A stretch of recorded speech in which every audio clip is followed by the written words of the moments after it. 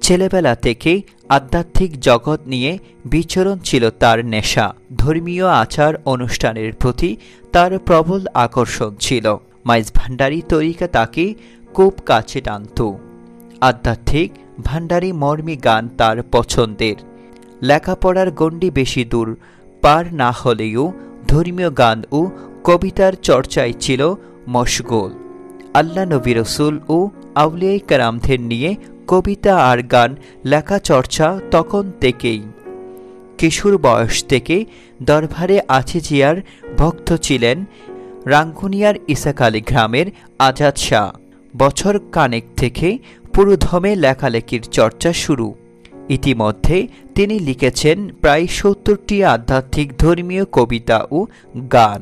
তার লেখা ও সুরে অন্তত বিশটি গান গেয়েছেন বিভিন্ন শিল্পী।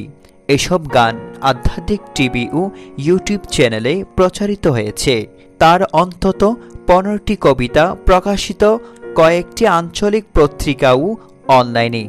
লেখালেখির বিষয় নিয়ে জানতে চাইলে আজাদ শাহ বলেন, কবিতা ও গান লেখা তার শখ। তিনি গান ও কবিতা লেখা এখনও চর্চা করছেন।